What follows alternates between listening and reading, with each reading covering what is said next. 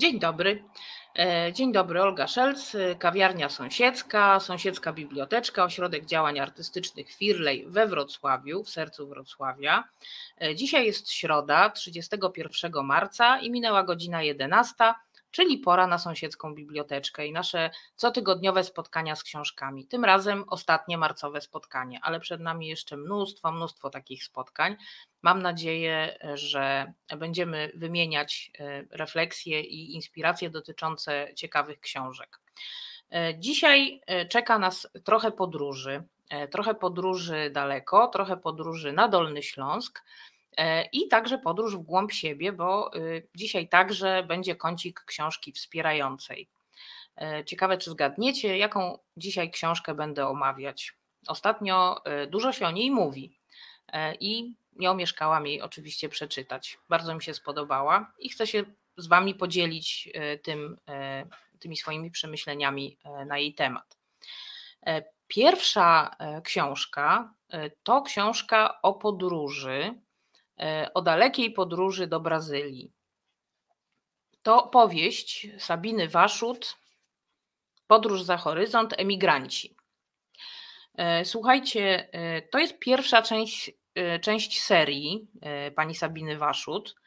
Ja bardzo sobie mm, ostrzę już oczy na następną część. Bardzo jestem ciekawa, co dalej się wydarzy w tej opowieści. Autorka miała taki zamysł, że postanowiła dość anonimowym podróżnikom z początku XX e, wieku dać imiona, nazwiska, konkretne indywidualne losy, po to, żeby e, uhonorować ich pamięć. Pamięć o setkach, tysiącach e, biednych najczęściej, mieszkańców małych wsi, miasteczek, którzy wyruszali na drugi koniec świata za chlebem, po lepsze życie dla siebie, dla swoich dzieci, mm, często zupełnie nie wiedząc, gdzie jadą, mając tylko mgliste pojęcie na temat y, kraju, do którego zdążają. I tak jest też z bohaterami tej książki, rodziną Gajdów z Galicji, z małej galicyjskiej wsi. Jest rok, słuchajcie, już tutaj spojrzę, 1902, czyli początek, e, sam początek XX wieku. E, I w miejscowej karczmie mm, Włodek Gajda, główny bohater tej opowieści, e, razem z żoną Hanną, córką Marysią, synem Jurą, e, małym synkiem Zenkiem i jeszcze jedną osobą, ale to za chwilkę. Na razie Włodek Gajda jest w karczmie i słucha przemowy miejscowego nauczyciela, który opowiada cuda chłopom o Brazylii. Mówi, że jest to kraj mlekiem i miodem płynący, że tam owoce same rosną na, rosną na drzewach, a zwinne małpy podają je ludziom, e, że tam wszystko samo rośnie, że człowiek wystarczy, że zasieje, a po prostu zboże samo rośnie i poza tym można się bawić, śmiać, cieszyć, tańczyć. E, jednym słowem jest to kraina cudów, prawie rajska kraina, jaką Matka Boska przeznaczyła Polakom. E, część chłopów jest sceptyczna, część zainteresowana, Oczywiście e, nauczyciel ma w tym swój interes, dlatego że jest w pewnym sensie pośrednikiem. Jeżeli skieruje większą ilość emigrantów do e, kobiety w Krakowie, która sprzedaje im bilety e, do dalszej podróży, to oczywiście dostanie swoją działkę, on też ma swoje marzenia do zrealizowania. Włodek czuje się zachęcony razem z żoną harują od świtu do nocy i od nocy do świtu. E, harują też ich dzieci. E, są bardzo biedni. Mm, kilkanaście lat wcześniej zdarzyła im się tragedia, umarło ich dziecko, przeżyli głód, niewiele mają do stracenia i mm, Włodek zaczyna namawiać rodzinę na emigrację, na to, żeby sprzedać to, co mają i jakoś wyruszyć. Od samego początku jest to dla nich trudne. E, przede wszystkim nie chcą, władze nie chcą wypuścić Jury, bo się nadaje do wojska, ale to w pewien sposób załatwi mama, czyli Hania. E, poza tym, e, no jeszcze jest matka Hanny, ona nie chce jej zostawić i daje Włodkowi taką, mówi mu, że emigracja będzie możliwa, jeżeli mamie się zemrze. I tak się jakoś staje, że mama Hanny odchodzi. Nie ma już na co czekać. E, rodzina Gajdów wyprzedaje cały majątek, ostatnią krowę, pakuje się i rusza w drogę. Ta droga będzie bardzo trudna, bardzo ciężka, e, ale oni pozostaną ciągle dobrymi, e, uczciwymi ludźmi. Po drodze przygarną dziewczynę, której ojciec nie dostanie się na statek, a, który, który powierzy Zuzannę rodzinie Gajdów. E, Zuzanna bardzo się im przyda i bardzo będzie wspierająca. Umie czytać, umie pisać, jest rezolutna, e, bardzo im pomoże na miejscu w Brazylii, gdzie wszystko okaże się całkiem inne e, niż to, co opowiadał nauczyciel, roztaczając cudowne wizje. Spotka ich wiele, wiele trudności, wiele cierpień, ale ostatecznie zwycięży ich lojalność wobec siebie, miłość rodzinna, pracowitość i to, że są po prostu odważni, zwłaszcza Jura.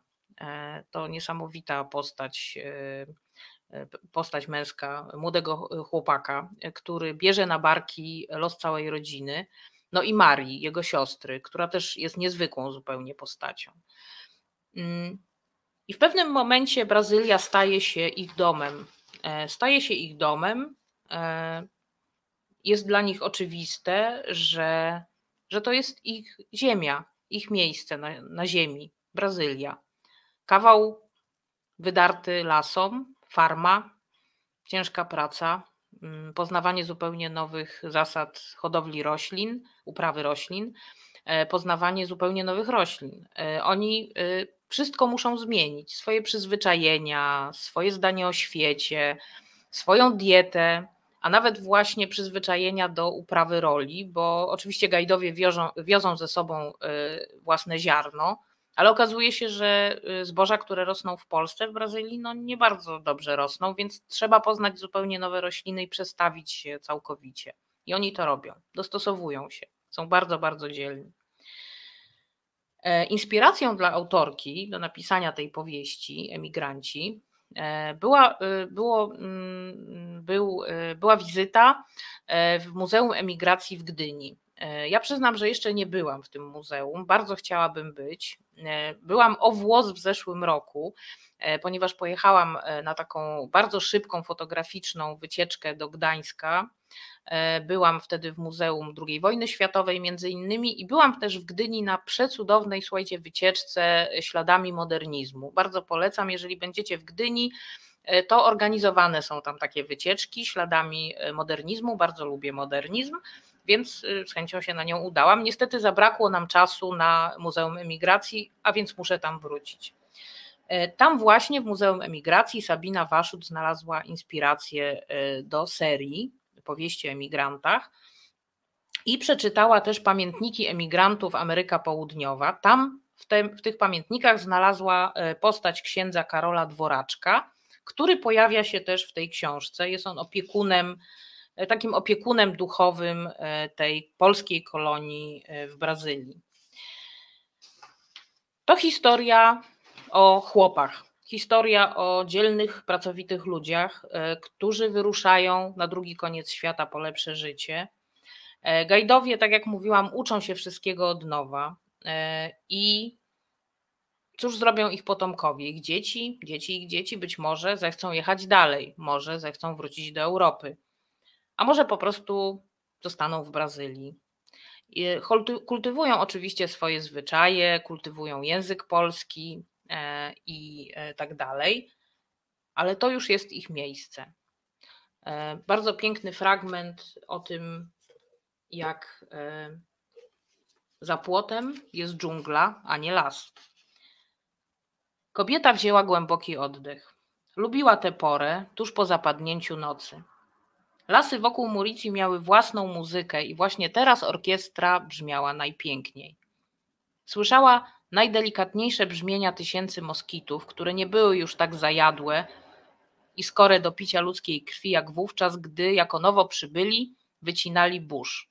Głośny rechot żab wypełniał każde bajoro i stawik. Wtórowały im cykady i niskie pomruki ukrytych między drzewami leśnych drapieżników. Wszystko to stanowiło kołysankę, uspokojenie dla ciężko pracujących mieszkańców osady. Bardzo Wam polecam. Pierwsza z serii Emigranci, Podróż za horyzont Sabiny Waszut. Tym razem rodzina Gajdów wyrusza do Brazylii. A teraz ta podróż w głąb siebie, czyli kącik y, książki wspierającej. E, pewnie już gdzieś widzieliście tę książkę. To czuła przewodniczka Natalii de Barbaro. Przyznam, że po, pochłonęłam, chociaż na pewno będę do niej wracać i będę się starała jeszcze mm, pewne fragmenty sobie doczytać, pomyśleć nad nimi i tak dalej. Kim jest czuła przewodniczka? E, na pewno przeciwieństwem krytyka, który w każdym z nas siedzi i mówi nam takie niemiłe rzeczy, jak nie potrafisz, nie umiesz, ty się do tego nie nadajesz, na pewno ci się nie uda i ta zabawa nie jest dla dziewczynek. No nie, otóż jest. Życie to także zabawa dla dziewczynek i dla kobiet. Mm, Autorka pokazuje nam w tej książce strategie, jakie przyjmujemy, żeby przeżyć. To są strategie, które wynikają e, z wychowania, e, z naszego przyzwyczajeń rodzinnych czasem. E, ja pamiętam, że mm, jak byłam młodą dziewczyną, to krążyło takie powiedzenie: siedź w kącie, a znajdą cię. No otóż to tak nie działa, tak? albo że mm, ryby i dzieci głosu nie mają. I kobiety czasem. Niektórzy też tak uważają, że kobiety też głosu nie mają. Tu trochę nawiązuje do tego, co wczoraj mówiła Kasia Religa na sąsiedzkiej ławeczce. Tak, kobiety mają głos, mają prawo powiedzieć nie. A więc mamy te strategie, które potem odbijają się na naszym e, życiu mm, emocjonalnym, zamrożone uczucia, mm, uciekanie w y, bycie męczennicą e, albo zbyt potulną. A propos bycia męczennicą, no to mamy tutaj e, niedługo pole do popisu, jako że nadchodzą święta. E, oczywiście każdy z nas spędza je inaczej. Osoby wierzące mają własne tradycje i rytuały, osoby niewierzące traktują czas świąteczny jako czas wolny. Ale tak czy inaczej, nie chodzi o to, żeby się utyrać po łokcie, żeby siadać do stołu z zmęczoną miną, żeby się poświęcać i wypiekać te mazurki i inne serniki do drugiej albo trzeciej nad ranem. Oczywiście, jeżeli komuś sprawia to radość i przyjemność, to może to nawet robić do szóstej nad ranem. Ale chodzi o to, żeby zawsze zapytać siebie, czy ja się z tym czuję dobrze i odpuszczać.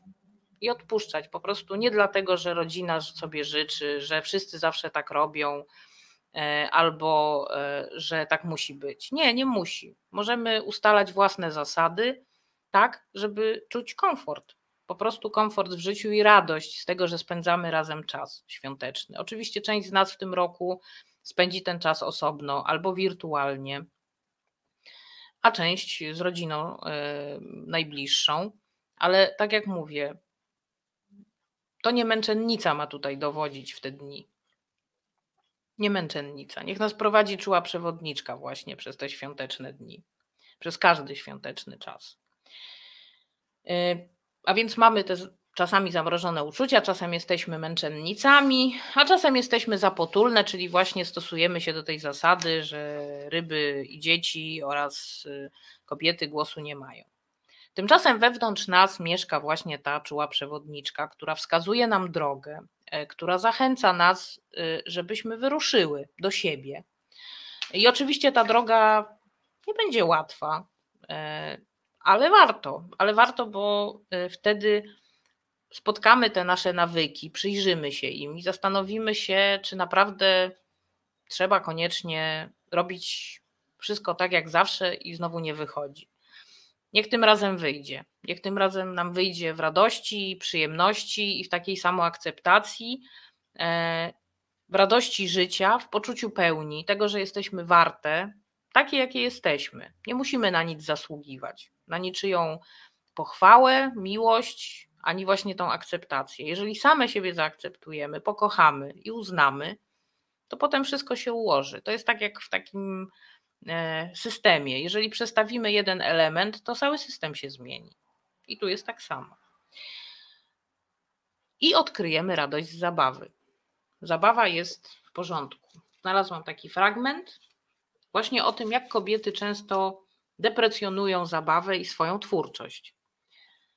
Moją ukochaną zabawą, pisze autorka czułej przewodniczki Natalia de Barbaro, jest robienie bukietów. Inne kobiety mają inne zabawy.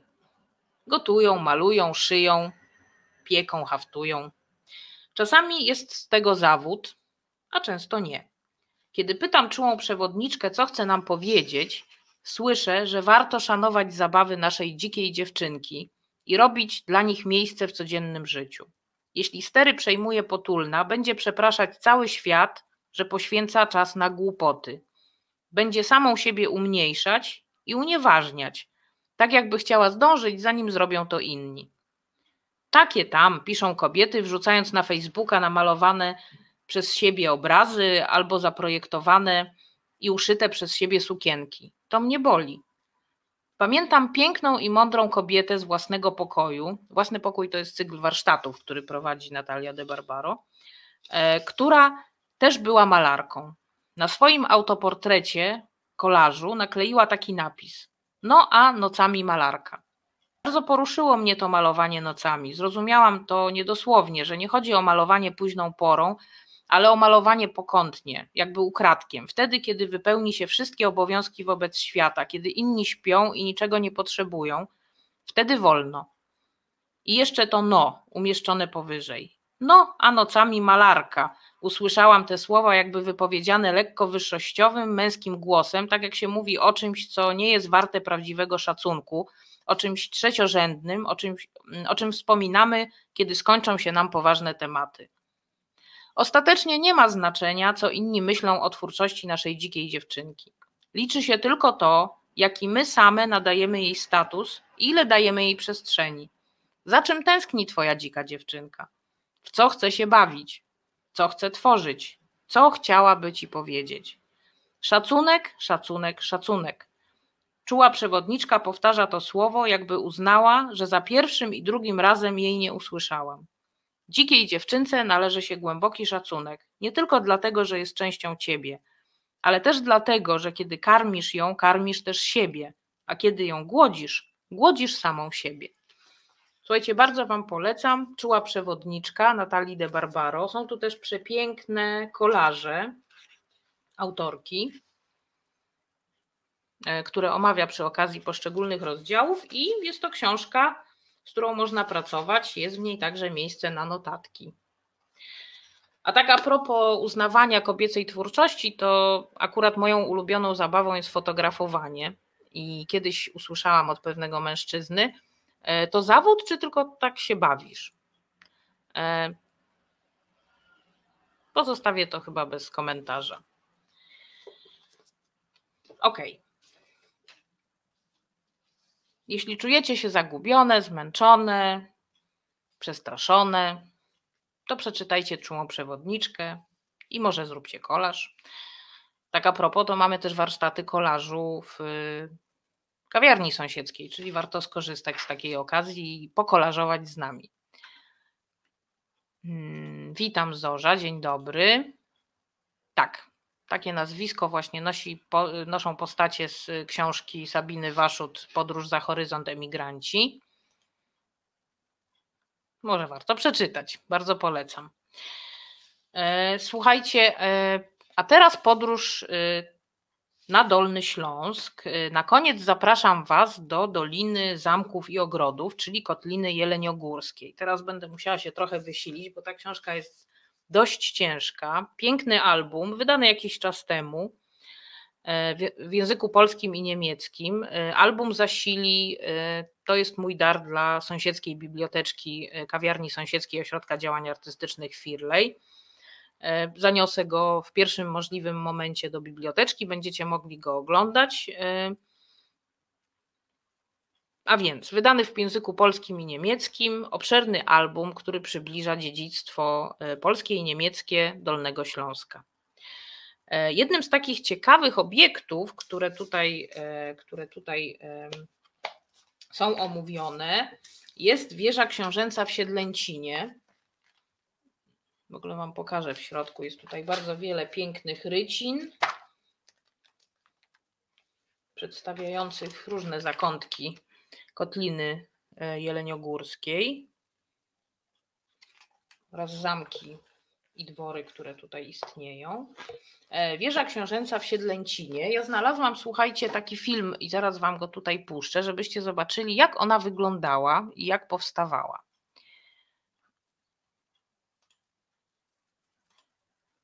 Proszę bardzo.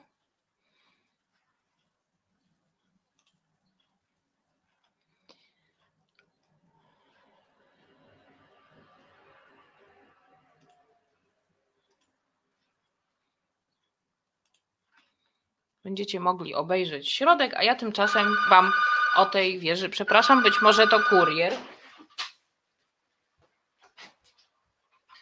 Tak?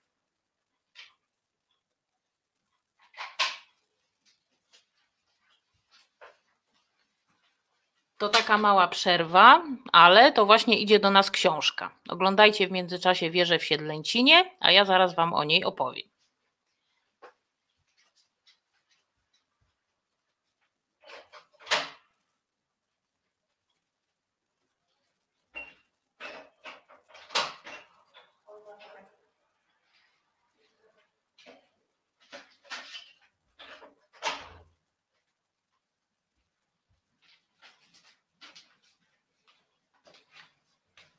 Już jestem. Kolejna książka do sąsiedzkiej biblioteczki. Potem sprawdzimy, co to jest. Ok, wracamy do wieży w Siedlęcinie.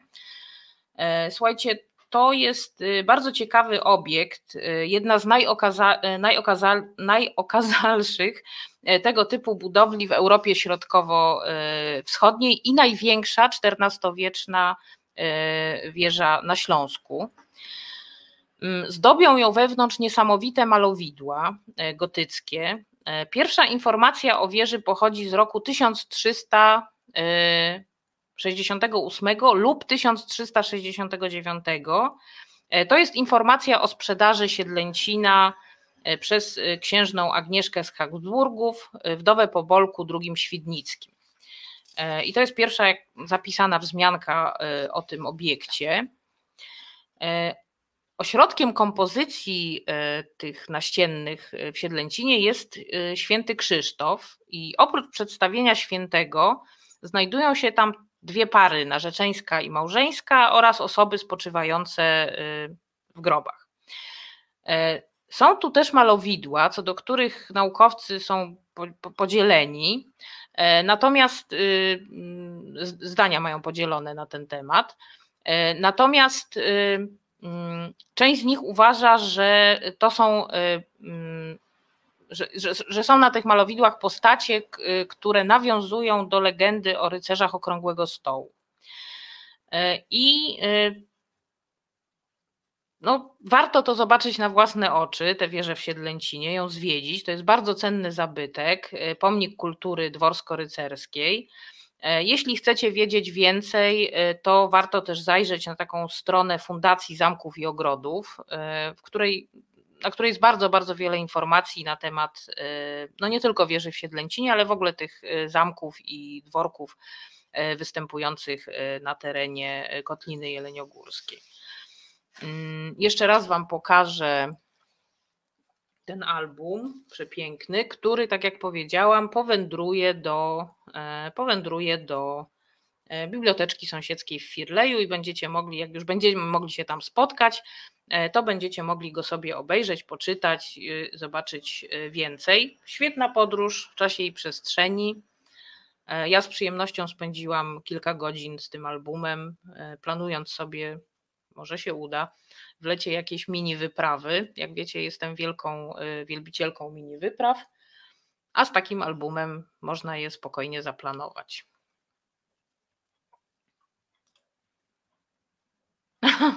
tak, no tak wyszło niestety, ale na szczęście miałam dla Was film o wieży w Siedlęcinie, także jakoś y, daliśmy radę. Tak, i, tak, i porobić zdjęcia zdecydowanie. E, pan Mateusz Chorążyczewski, że był dwa razy w wieży w Siedlęcinie i poleca.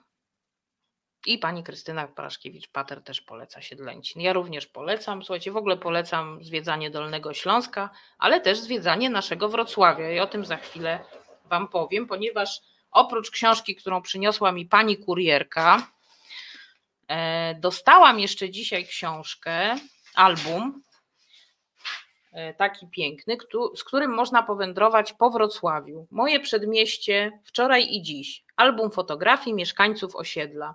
Chodzi o przedmieście Oławskie. E, ta książka została wydana, ten album został wydany staraniem e, Stowarzyszenia, staraniem Stowarzyszenia Przedmieście Oławskie. Chciałam Wam pokazać zdjęcia. Tak, więc album został wydany staraniem e, Stowarzyszenia Przedmieście Oławskie, a teksty napisały do tego albumu panie Agnieszka Dubanowska i Joanna Szumiela. Tak jak powiedziałam, ja go świeżo dostałam, e, więc e, lektura jeszcze przede mną. Więcej o albumie opowiem Wam y, w pierwszej kwietniowej sąsiedzkiej biblioteczce z wielką przyjemnością, ale już przeglądając te zdjęcia, na których są nie tylko budynki, ulice, podwórka, ale też mieszkańcy osiedla, e, którzy przynieśli swoje archiwalne zdjęcia. Proszę bardzo, tutaj mamy chłopca z siostrzyczką w wózku i mamę z córką na dolnym zdjęciu bardzo ciekawe. Osiedlowa historia, osiedlowa historia jak żywa. E, tak więc z przyjemnością przez wolny czas przejrzę ten album. Moje przedmieście wczoraj i dziś, album fotografii mieszkańców osiedla, przedmieście Oławskie i opowiem Wam więcej następnym razem. A teraz, kochani, e, oczywiście firlejowe newsy. Już pokazujemy stronę naszą firlejową co tam się dzisiaj i w ogóle będzie działo.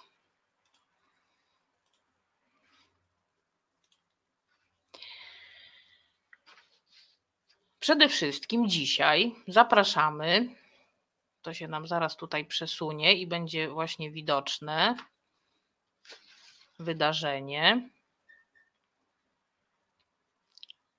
Dzisiaj o 18, tak właśnie, dzisiaj o 18 zapraszamy na wystawę grafiki i ilustracji Poczekalnia.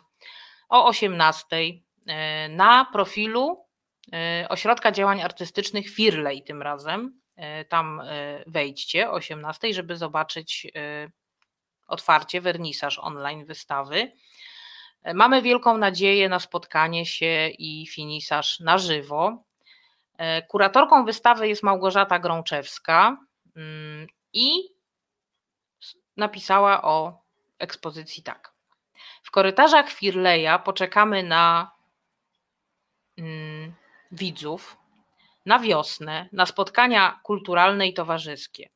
Poczekamy na normalność z wesołością, irytacją, tęsknotą, dystansem, smutkiem i z miłością.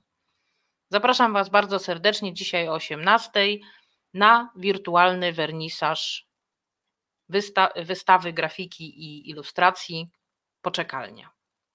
A już niedługo pierwsze kwietniowe spotkanie z Kasią Religą na sąsiedzkiej ławeczce i oczywiście nasze spotkanie w sąsiedzkiej biblioteczce, na którym raz jeszcze przypomnę, będę opowiadać o albumie o przedmieściu oławskim, albumie, który wyszedł staraniem Stowarzyszenia Przedmieście Oławskie.